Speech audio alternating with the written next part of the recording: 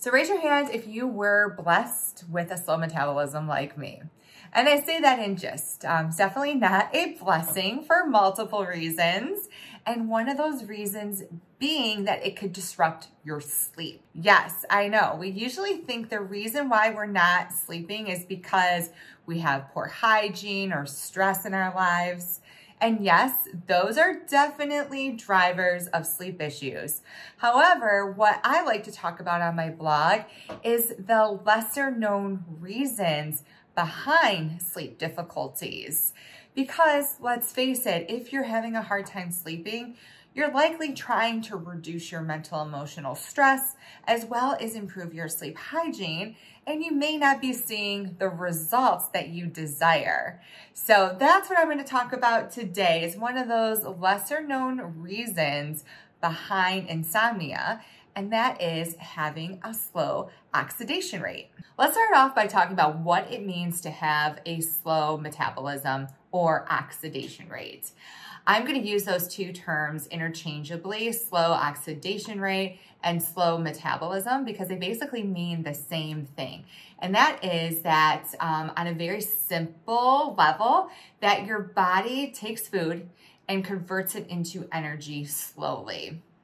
Now, from a functional health perspective, what that also means is that your thyroid activity as well as your adrenal activity is slow. So as a result, you typically have a hard time retaining sodium and potassium and you displace magnesium and calcium. So I'm going to discuss in a little bit more detail what that means and what that has to do with your sleep. Knowing a client's oxidation rate is really helpful to me as a functional diagnostic nutrition practitioner. And I do this by way of the HTMA, also known as the hair tissue mineral analysis. If you're not familiar with the test, it is where we take about a fourth of an inch of scalp hair from a couple places on your head. We send it to a lab and they analyze the mineral content. And this then allows us to see if you have deficiencies, imbalances, if you're holding on to toxic metals, as well as determine your oxidation rate. So when I'm interpreting an HTMA, one main thing that I am looking at are the first four main minerals. And what I wanna see is I want them to be balanced. And those first four main minerals are magnesium, calcium, potassium, and sodium. And what I see with our slow oxidizers is that magnesium and calcium is high. Now that doesn't mean that they have high levels of magnesium and calcium. It means that magnesium and calcium is in the soft tissue. And that's not where, where it should be. Magnesium should be in our cell and then calcium should be in our teeth and our bones. And the other thing I see is that sodium and potassium are low. So the client isn't retaining those minerals. And that could be a problem. And that is typically why they have slow oxidation is because sodium and potassium are solvents. They help the body to utilize our other minerals. So then this results in the buildup of magnesium and calcium in our soft tissues and can cause sleep issues. Let's first take a look at why high calcium levels in the soft tissue can make it challenging for you to sleep. So the cool thing about calcium is that not only does it help to keep our bones and teeth strong, but it also can help to protect us emotionally when it comes to trauma. Calcium is a very calming mineral. So when we experience an extremely stressful event, our bodies will retain calcium so that we feel more numb.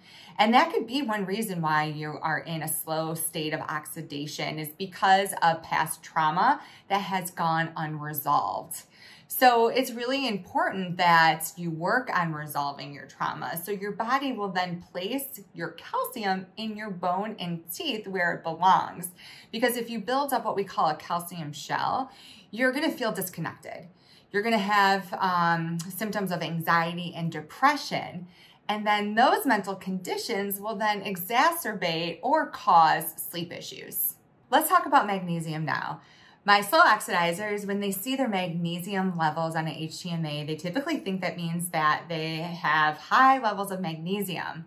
Well, actually what it really means is that they're losing magnesium. Magnesium is not entering the cell where that's where we want it to be because of the slow retention of sodium and potassium.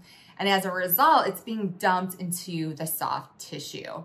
And that's not a good thing when it comes to sleep. We need appropriate levels of magnesium in order to calm our central nervous system, our brains, and our body.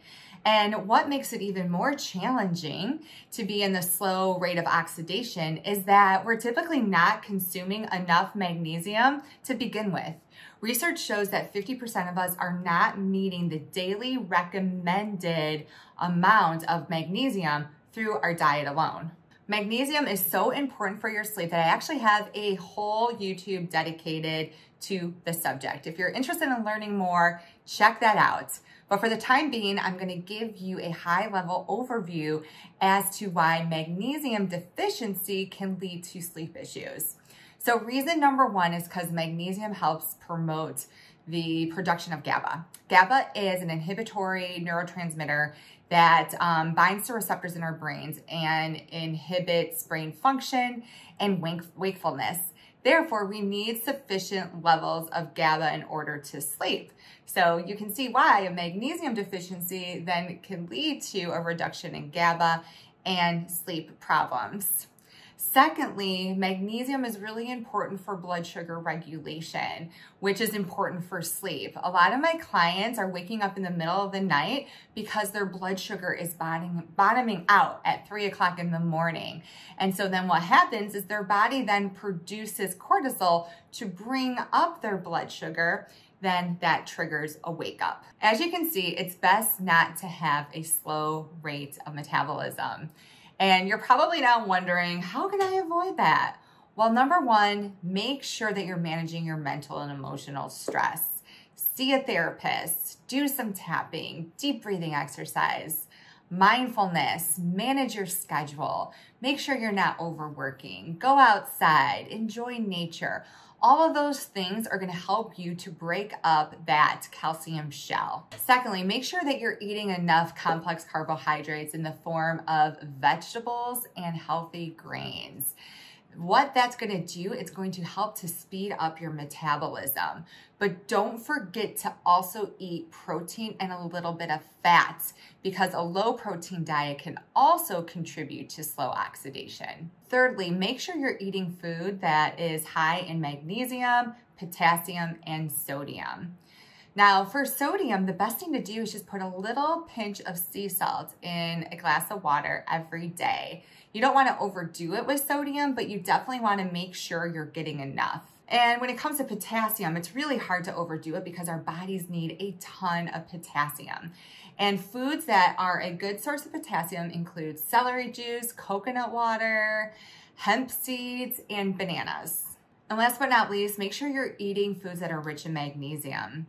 Foods that have a lot of magnesium include avocados, bananas, spinach, and my favorite, dark chocolate. So I bet you if we were talking right now, your next question for me would be, should you purchase magnesium, potassium, and sodium supplements? Well, if I had an HTMA for you, and I could confirm that you are indeed a slow oxidizer, I would say absolutely. However, without that data, I would caution you against taking supplements willy-nilly because you can actually make things worse.